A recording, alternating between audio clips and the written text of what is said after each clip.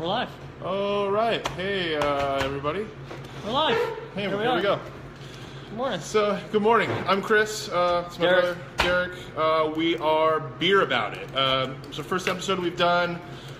We've been open here at the Growler Cafe in Lebanon for about two and a half years now, and um, what we found is a lot of our customers are really kind of craving some beer knowledge, right? There's like this lingo about it, um, you know, beginning, middle, and end of how beers taste, different kinds of beers, and so we just thought we'd kind of put a weekly show together and uh, sort of address some of those things, give you guys some uh, some information. Um, yeah, my brother and I have our Tavour here. We, we're both members at Tavour, and uh, we've collected lots and lots of bottles. Too many bottles.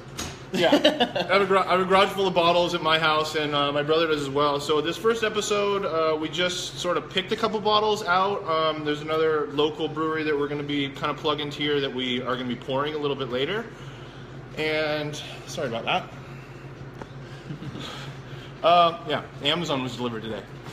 so uh, anyway, I don't know, uh, Derek, you have anything to, to No, I just we're excited to share some stuff with you guys. If it's if it's beer related, we'll be talking about it. Um, this is obviously the first one. We'll be working through some kinks, obviously, as we go through. But yeah, we're excited to talk about it. Uh, definitely comment if you guys have any things to say or any, any things to, to mention as we go through this. Any questions we can answer for you guys uh, towards the end. Uh, we'd love to hear from you guys.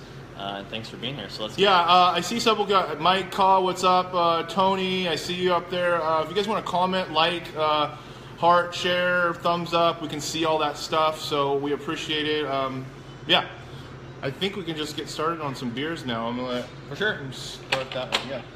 So the first beer today, Temporary Permanence.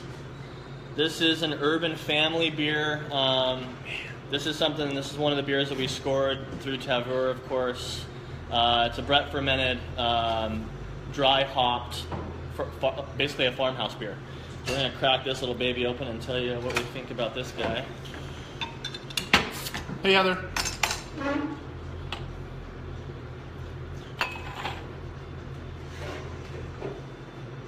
Nice color. I'll take that one. Good color. A little bit hazy, right? Yeah. Cheers. First beer. Cheers. Yeah. Beer? 10:30, huh? Beer at Yeah. 10:30. Biscuity, Yeasty. super yeasty. Super yeasty. Kind of bright, a little bit of lemon. So this beer, this was a, the first foeder beer that Urban Family did. Foeder is basically uh, an oak fermenter um, that they use to do a lot of these um, Brett beers. Um, Brett re- it talks about the yeast strains they use. Brett is basically a yeast that doesn't grow a spore. So a lot of us uh, recognize yeast as growing basically like spores on the top of the beer. With Brett, it doesn't do that, which allows them to age it for longer periods of time and whatnot. So this is a Brett yeast.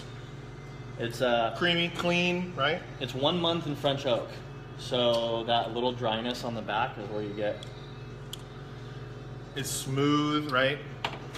I don't know, like lager drinkers would be into this. Yeah. Uh, you know, light, clean, summer. I think of spring probably a little bit here. Yeah, for sure. Anyway, Yeah, it's def- delicious beer. it definitely is fermented in the bottle a little bit. You get a little bit of that like um, that little bit of that champagne bubbliness in it, a little more than you would in a traditional just Totally. CO2 beer. Cool. Also, uh, it's 10:30 in the morning on a Saturday, and we're going to be trying five beers here. So, uh, if any of our buddies are around right now, and you guys want to come and taste some of these beers, uh, come on down. We'll be we'll be on for a little while here. Uh, Chrissy, hey, how's it going? Nina, good to see you. Thanks for tuning in. I appreciate it. Cool. Let's see our next one. I need a bottle opener. Is uh, this one's from uh, Surf Brewing. They're out of California. Uh, it's uh, the scientific series. So I guess these guys have always been super excited about, um, you know, doing sour beers. Uh, they started doing some sour beers in their brew house and decided that, you know, in taking some of those yeasts and doing them with these clean flagship beers is not always a good idea because uh, it can kind of infect your other beers, from what I understand. So they actually took it off. They did a couple of them and then they took it off site. Now they have their own thing going on. So um, this one is It's called CO2. It's a blonde ale. It's aged in French oak rosé barrels. Um, it's got a really tight cork on it. uh, it's dried hop with uh, Nelson Sauvin, which is uh, a fruity, uh, almost has a Sauvignon grape sort of flavor to it. Uh, crushed grapes is what they say they get out of this. Um, so I'm, I'm really excited about trying this. It's been aged in uh, French oak for I don't know. Uh, Hey, Jeremy, Ashley, thanks for tuning in. Appreciate it. Kind of the same color almost, huh? This last one. Yeah. Here, I'll show this bottle to you too, so you guys can kind of see little it. kind of hazy. Can't quite see through it. Kind of juicy looking. So, let's see, can you see that? There's the oh. bottle. Oh my gosh, you totally get the wine. I went and read. I read up on all these, all of these sour beers, and are, are sound amazing. So anyway, cheers. Huh? Oh, dude. Dude, Woo!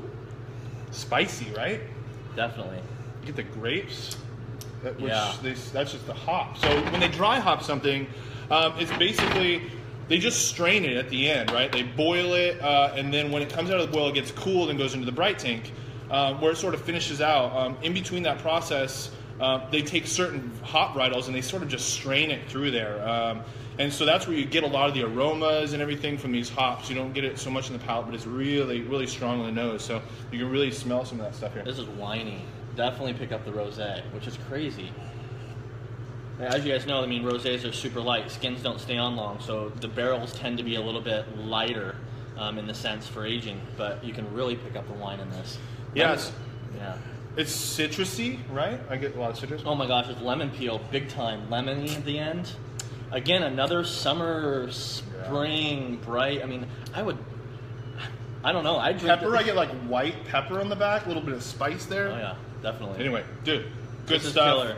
Pick it up. Like I said, some of these stuff you're not gonna be able to get some of these things around here. You can start opening the other bottle. Yeah. Um, you're not gonna be able to get some of this stuff around here. So if you guys are looking for like an awesome collection, uh, check out Tavour. Uh, it's super good. They have an app. Uh, it's a little bit, it gets a little out of hand. I'll say that right now. Uh, uh, he deleted it off of his phone because uh, got a little crazy. Uh, Yeah. So you end up with these big boxes. But here's what it is: you, you get an email uh, every day or, or a notification every day. Two of them. You decide yes, I want it, or no, I don't want it. Um, I've sort of limited mine down to sours lately because there's just so many great beers out there that these guys offer. So if you're looking at that, uh, I guess quick plug here. Check them out.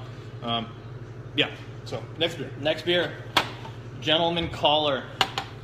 This is another Urban Family beer. So Urban Family, I didn't tell you guys before this. Urban Family is Hey, from, from Seattle. Jay, what's up?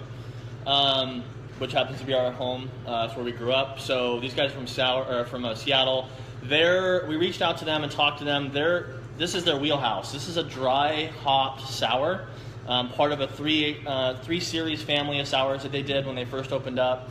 Um, so we're gonna try this out. It's got Belma, Simcoe, and Huell Melon hops in it. Huell Melon. So we had we had a beer in here. It was a single hop series with Huell Melon. Supposed to be really fruity, uh, honeydew melon. They get out of it. It's a little bit darker malt. Thanks for the feedback, guys. Don Schumer, what's up, buddy? Big shoe. Check out the color on that. It's got an ambery. Yeah. What kind of beer is this again? I wasn't This listening. is a dry hopped sour. Oh, dude, love sours. Yeah, for you sour fans, you know, either love them or hate them, or you're working your way into them. Um, but sours are, are great. They're one of our favorites for sure. We have a handle here all the time, number 17. So I've got so many sours still sitting here waiting to go on. wow. Good. This is delicious. I, you know, the very, very the hot the hot balance on the backside allows for it to not be super overly sour, which some sours can be. It, it is super clean. Not overly carbonated, which is kind of nice. It allows for the flavors to come through a little Yeah, bit. very big head there. I don't know. I get, I get like dried apricots out of this, right? Dude, this is like a Granny Smith apple. Oh, Like yeah, there's some green Granny apple Smith in there. Pretty acidic. Uh, doesn't. How long was was it barrel aged? Um, it was barrel aged. Actually, it was. Let's see how long we have barrel aged for. Three months. Three months and French oak. I can probably sit in there a little bit longer. I like the oaky flavor in mine. It sort of mellows things out a little bit, helps things blend a little bit more- better. But to my understanding, I was talking to them too. They're, they're trying out Casey, like, how do you know? They're trying out three different types of yeast with this, so it's got a blend and a variety of yeast that went into this. So um, you know, as they kind of test through things, I think things will change. This bottle might even be different next year. Who knows? But That's what I love about sours. You know, they're all sorts of different. Barrel aged and wine and all sorts of gin and crazy. So they definitely have lots of complexities. You get lots of middle, uh, like middle, beginning, and different flavors there, like a wine. It's kind of dry. yeah, the oak kind of came through. Yeah. All Next one. Try to keep. it Well, this is called convenient distraction. I'll need a bottle opener here. Yeah. It's an imperial porter. Now, I'm not a big dark beer fan. My brother's really not either. But uh, there's some really, really good ones out there. I know that it's dark beer season right now, so we wanted to throw one of these in there. Show them the label. Um, yeah, convenient distraction. It's from O'so Brewing. Um, they're out of Wisconsin. Wisconsin. Hope I'm getting that right. I did a little bit. Oh yeah, Wisconsin, Plover, Wisconsin. Uh, you know, this is a uh, a guy and his wife, right? They they went to school. Uh, they started. They were brewing beer at home, so they got a brew supply place. The next thing you know, the brew supply was that kind of turned into a brewery. So uh, just just real quick, it's an imperial porter. It's masterfully blended with. Uh, Aguacate coffee from the Nahero region in Colombia and Madagascar bourbon vanilla beans. Jeez. So sounds amazing. Yeah, definitely the time of year for dark beers. So Yeah, we have a really dark board. If you guys are around and you're looking for some dark beers, definitely we've got a great lineup coming up right now. Becky, how's it going? There's a couple questions coming through. I really uh, kind of small. What's the story behind the glassware? Good question. Go ahead. Yeah, so these uh, tulip glasses, um, traditionally you use these tulip glasses for a shorter pour, um, and traditionally it's for imperials. We're using these today because it's just uh, a little bit nicer. You can pour a little bit less beer in them. It allows for a little bit more aroma than you would get out of a traditional pint glass. Um, but you can pick up these tulip glasses in pretty much any store. Um, but we uh, we hold on to these for uh, imperial imperial glasses and, and sours for the most part. What, what are you getting here? Lots of vanilla. Oh my goodness. Coffee, Yeah, right? Absolutely. Definitely a dark, a dark beer for sure. A Nice milk chocolate head on the top of it. Oh my gosh, yeah, super creamy. Mm. Oh my gosh. Silky smooth mouthfeel, Oh right? Oh my gosh, yeah. That's what I love out of a porter or a stout. Super creamy and God, buttery and Not super bourbon forward, right? They said the, the bourbon vanilla beans in here, so it's, it's a little bit there. which honestly I'm okay with that Yeah. because you know a lot of times you find these bourbon aged beers that just so over the Hey, hey, top, Michelle. um, where bourbon just completely comes through and destroys the rest of what the beer's about. Yeah, it sort of overpowers it. Yeah. for Now, this is a good, real well balanced. You can tell it's a porter, so it's not super heavy. And it pours pretty dark, but up against the light here, you can kind of see on the edges. You can see through it. Porters are a little bit lighter than stouts. This is one of the better balanced porters I've had in a while. This is this is really really good. Yeah. Like O'so, right? No, is this Yeah. O'so? Yeah. Great job, guys. Yeah. Seriously, shout out to O'so. If you guys can get a handle on that uh, through Tavour or any of your other bottle shops, snag one of these little babies. Yeah. And I'm gonna guess that this would probably age, and you could probably hold on to this bottle for some time too with the bourbon in Yeah, it. that's a good thing about you know porters, dark beers, uh, sours. You can really kind of hold on to them. You know, sometimes these- IPAs you want to sort of drink, uh, you know, right away. But some of these other ones you can cellar as long as they're at a good temperature and there's not getting a whole lot of light. You can keep them for a long, long time. So I want to keep. none of our friends have showed up here, so there's still lots of beer here that we're gonna have to try to consume here this morning. I want to keep drinking this one. This one's good. Yeah, this is good. All right. Last but not least, huh? Yeah, right. And then the hat there, you want to grab that? Yeah, for sure. So, we got a local beer. Last beer.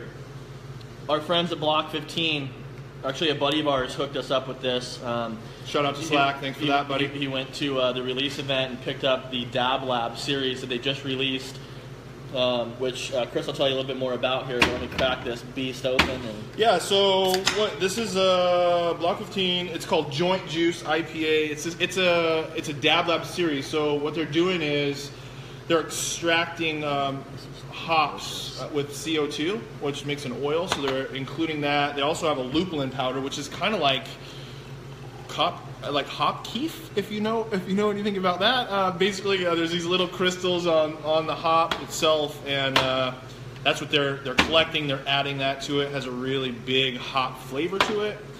Um, like I said, this is a, this is called a Juice Joint IPA. Let's see what else can I tell you about it. Oh, it's uh, it's got some citrus in it, Citra, uh, Mosaic, Apollo. Let's just drink it. Yeah, super citra. Picked up this killer hat too. Uh, you guys need to stop down there before these get get gone. They've got two places over in Corvallis there. These are killing it. Every IPA they've done, I'm, I mean, every beer that they've done like has really killed it. So if you haven't had any Block 15 beers out of Corvallis, I know they're distributing themselves around here. So pick some up. You'll love it. for sure. This is What's up, uh, Jennifer? This is up our alley. Citra, like my over overload. This is so. It smells so delightful. Be Oh, man, IPA super drinkers, be jealous about this one. This one's uh, I, without even tasting it. Hazy, right? Super hazy. Yeah, nice creamy head to it. Yep. Looks like it has a pretty silky mouth feel to it. It's just kind of viscosity, Oh, right? wow. The thickness. Super juicy, like orange juice. Oh yeah. This is like yeah. Orange. So juice. I'm, I'm guessing that they had a little. So Great Notion's another great brewery out of Portland. Uh, Derek and I are both big, big fans of them. Um, I know that Block 15 and them have done a couple beers in the past. Um, this hazy beer thing, this new hazy IPA thing, it seems to be kind of the new, Unfiltered. the new trend, which I kind of like because, you know, they're filtering out, and this has got all these little bits have got good flavor in them. yeah. So, uh, dude, this Absolutely. is amazing. This I is w- amazing. Yeah, you know, to talk about filtered beer just for a minute, when you talk to a brewer, everybody has their opinion of filtered beer. But when they started, Michelle, when they started, when they started filter, filtering beer, it's really just because the customer wanted to see a clear beer. That's yes, it. we do, Jordan. Um, and I'll get to that in these sec. unfiltered beers really give a lot more complexity, and I think uh, and, and, and a mouthfeel completely different than you do in like a, a filtered beer. So Absolutely. delightful. So some of you are, are asking the question about whether or not this beer is going to be here. Yes, uh, I have a keg of it in my cooler currently. Uh, now, now we have a Mug Club member uh, membership here. Some of you guys know that, uh, and this beer will be offered as a Mug Club member for the first week that it's on. But they've never drank all of it, so there should be plenty left for the public. But it should be going on any- anytime soon, and uh, that's one thing that when we decided to do this show, uh, we didn't want to we want we didn't want to feel like we were trying to push all these beers and we're trying to sell all these things. Um, so most of these beers we can't we, we can't sell because we can't get a hold a hold of them. But there's always going to be one of them that we're going to be selling, so you can count on one of them being being here. So yes, to answer that question, we will be having this beer here, and I'm excited about it because I want to drink more of it. So Speaking of the lineup, we got a crazy good lineup coming up. We have some beers that we've never carried before that'll be coming through here in the next couple weeks. So you Yeah. haven't made it in, definitely. Yeah, we've been, you know, Derek and I both do a lot of work on Instagram and Facebook and emailing these breweries and developing relationships. Uh, we just have a new, we have a new distributor coming in, so picking up four brand new breweries that we're really excited about. A sour house out of Portland, Cascade Sour. Um, we're going to finally be getting some of their stuff. Yeah. Um, we have a bottle cooler here now. If you guys haven't checked that out, we've got some really exclusive things here. Um, so, yeah, uh, all these beers are amazing. Uh, every different kind. Um, I, I want to ask you guys if you're listening in or if you catch the replay, please, like I said, like us, share us. Uh, those little hearts are awesome. Um, we'll definitely be going back and looking at all these, uh, you know, comments and things because this is For our sure. first time around. So if you guys know and you want something, Reach uh, yeah, reach out and let us know your ideas, and we can kind of, you know, morph things a little bit into what you Yeah. guys are looking for. We want to develop some value here, um, so you guys have a little bit more knowledge. Also, yeah, I Um, mean, and, and we're we try, we plan on doing this every Saturday. So tune in every 10:30 at every Saturday. We'll be here to share some beers. The plan is to Thanks for love, guys. the plan is to document these and uh, start a YouTube channel as well called Beer About It. Um, so you guys can go back and watch some previous episodes um, and, and just follow us throughout. So that's kind of the big picture. So we appreciate you guys tuning in for sure. We got a couple more things for you before we let you go. Um, first thing is we want to talk about some beer buzz, some things that are going on around here as well as um, Portland and a couple other places. First thing we want to talk about is the Goose Island event, right? Goose Island event. Right, uh, you can kind of see it over my brother's shoulder here. We've got some posters all around. I'll be doing some marketing, or we'll be doing some marketing here on Instagram and Facebook here this week. But uh, Goose Island, uh, they're out of Chicago area. They're really big. They get the goose on them. They're kind of all over the place. Um, their IPA, they just did a, did a big push, did a big push for that uh, just about a year ago. So their high end stuff is killer. Their their sours we fell upon. Um, I've got two great sours coming: the Lolita and the Madame Rose. I've got a tequila barrel aged saison that's going to be here as well. Uh, we've got um, a double IPA called Illinois, which is a, a limited series too. A whole bunch of it's probably the best lineup we've ever had. So uh, the 21st, it's a Tuesday. We always do it on Tuesday, uh, six to eight o'clock. If you guys aren't doing anything, definitely come down here. We'll have the rep here. They'll be giving out free swag. Yeah, Um, come check it out for sure. Yeah. Uh, another thing going on, um, let's see, the 25th of February, I wanted to plug uh, Stormbreaker Brewing out of Portland. They're doing their third annual. Um, Getting good beer is not a bad job. It's, it's basically like a beer event matches a distillery. So there's going to be 20 breweries, 20 distilleries in one place at Stormbreaker in Portland. Hey, what's it's on up, the Wendy? 25th. Thanks for tuning in. Um, Hey, you, can go, you can go and get tickets. Go to their website. I think it's like 20 bucks to get in. Uh, super cool event. Uh, something else going on. Uh, April 1st is the Growler Grub Train by Santiam, Ex- Excursion Trains, which is here out of Lebanon. Uh, we'll actually be there uh, serving some food, right? Right. Uh, pretty cool. Uh, they, they actually leave right right from here in Lebanon. They go down to Sweet Home. It's about a two-hour trip. Uh, we just did a catering gig with them not too long ago, but this is Growler and Grub. So from what I understand, Wendy, there's going to what's be up? there's going to be uh, like 10, 10, 10 different vendors, two different food vendors. We're going to be one of those. So um, if you haven't got your tickets, uh, Santiam Excursion Trains, you can go online and check those out. Definitely grab your ticket there. Should be a great time. Uh, I love it. Uh, yeah. So that's another thing that's going on. Is that it? That's it. Uh, And then the promo. so, and real quick, we don't have this written down yet, but and I know it's a long, long, long ways away. Um, September 23rd. Take some time, grab your calendars. I'll wait. No, really, grab your calendar. Yeah, yeah, right. So September 23rd is our Brew Fest. We shut the streets of Lebanon down. Uh, we did it for the first time last year. It was super awesome. We had 24 breweries. This year we're pushing for at least 30, maybe 35. Uh, bands all day long. September 23rd. Um, it, it's all to raise some uh, some money for the Boys and Girls Club here in the, in the greater Santiam area. We raised about $11,000 last year. We're looking at doubling that this year. So definitely put that on your calendar. Hey, Stanley. Yeah, I think uh, I think that's it. I appreciate you guys tuning in. Like I said, like, share, hearts, all those things we'll see. Check out the replay, um, and uh, any anything else like comment wise, what you want to see, what you'd like to see us, uh, you know, look at, taste, uh, share. Let us know. Uh, before we go, if you watch this today and you're hearing this now, mention this. Uh, Oh, right. Mention this Dab Lab beer that we got from Block 15. We'll give you two dollars off a growler fill if you come in today and mention that you watch this feed. So, uh, Block 15's Dab Lab. Just walk up to whoever's working that day. Juice joint. Juice Joint is the name of the beer, which is killer, by the way. Yeah. Uh, thanks for tuning in, guys. I appreciate it. We'll see you next Saturday, right? 10:30. Right. Have, right. great, have a good weekend. Have a good one. Thanks.